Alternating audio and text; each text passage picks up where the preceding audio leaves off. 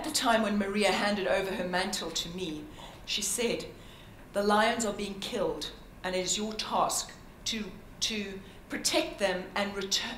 Well, she said, It's your task to protect them, full stop, was her first instruction to me. And I remember my question to her was, But how do I protect them? I mean, this is a mafia.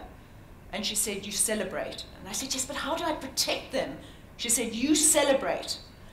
And then I suddenly realized celebration, like we've been doing the last two days, celebrating what is sacred to us, what is beautiful to us, what, what God created in nature, is the most powerful way we can protect what is precious because we're raising our consciousness and recognizing God in nature. And that served me very well through the darkest times when I am face to face with these, um, these brutal killers.